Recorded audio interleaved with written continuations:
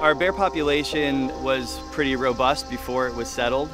Over time, our bear population got pretty low. We think maybe down into the 300s.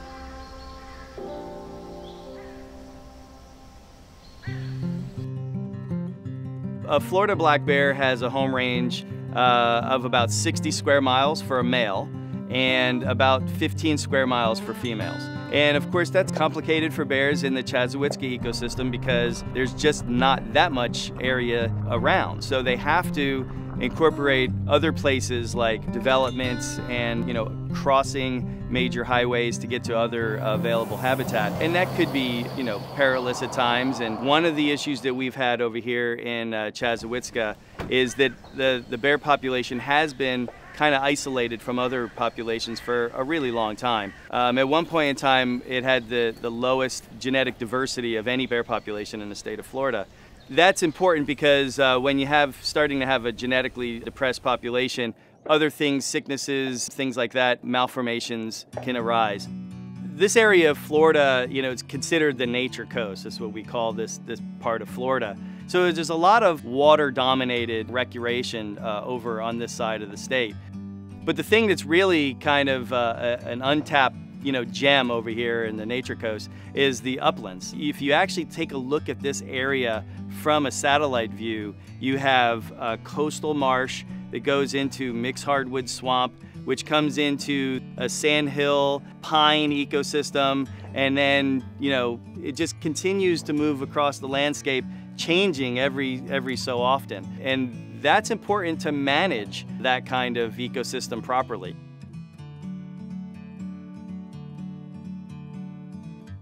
One of the great things that's happening in Florida is the focus on creating wildlife corridors throughout the state where we can have large animals like bears and panther and, and deer and other things that are moving back and forth across the landscape relatively uninterrupted you know, DOT and uh, the state and the counties are all working pretty hard to try to get that accomplished.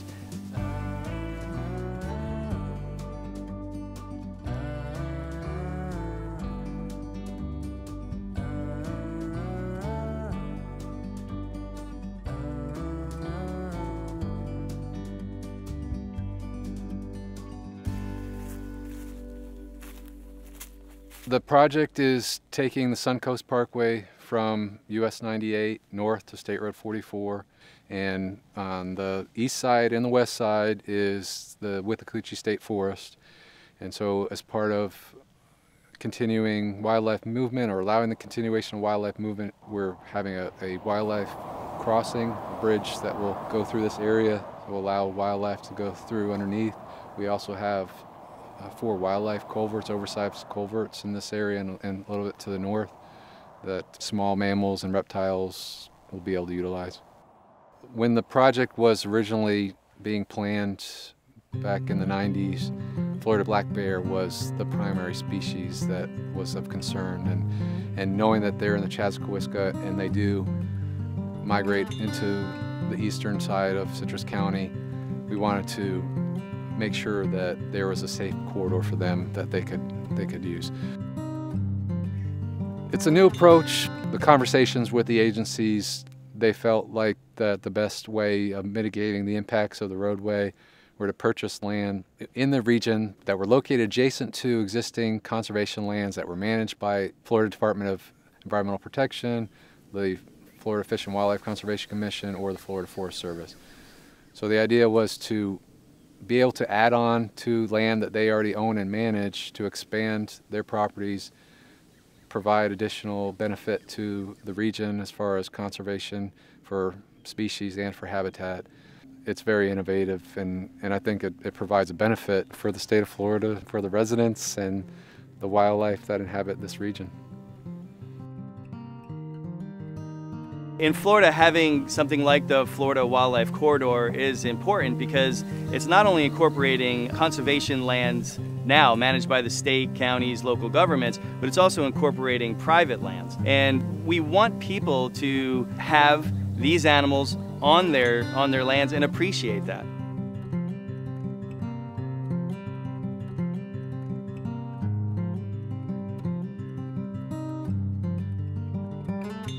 Well, we're like fifth generation Floridians, and we just like we like the wildlife, we like the woods, uh, we like the property to stay like it is, really.